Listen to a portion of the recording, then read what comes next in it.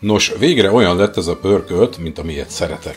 Tehát én azt szeretem, hogyha szétomlik a hús, és ugye most 98 fokon főztem, 4 órára volt állítva a lassú főző, és kevesebb, mint 3 óra alatt megfőtt benne az étel, és nagyon jó szaftos lett, nagyon jó sűrű,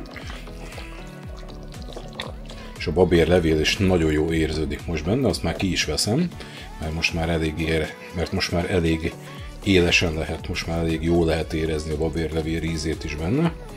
Úgyhogy kell bele ez a négy darab, ezt most már megtapasztaltam, és kicsit bátrabban bántam most az összes többi fűszerrel is, hogy ez is kellett ahhoz, hogy ilyen finom ízt kapjunk.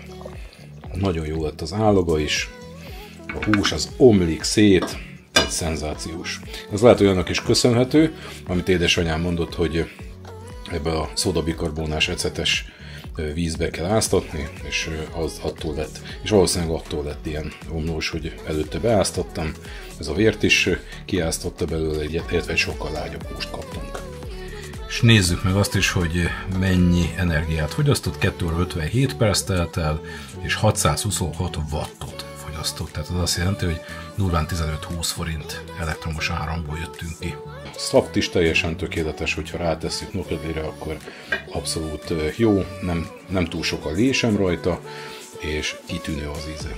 Nagyon-nagyon finom lett, hogy annyi még kimaradt a videóból, hogy körülbelül egy deciliternyi vörösbort körülbelül egy órányi főzés után öntöttem hozzá, tehát az egy egy-másfél órát főtt, és most már el is párolgott belőle az alkohol, ahogy érzem az ízén. Javaslom, próbáljátok ki ti is. Nagyon-nagyon szeretem ezt a lassú főzőt, és úgy tűnik, hogy nagyon bevált. Köszönöm szépen a figyelmet, legyen szép napotok, sziasztok!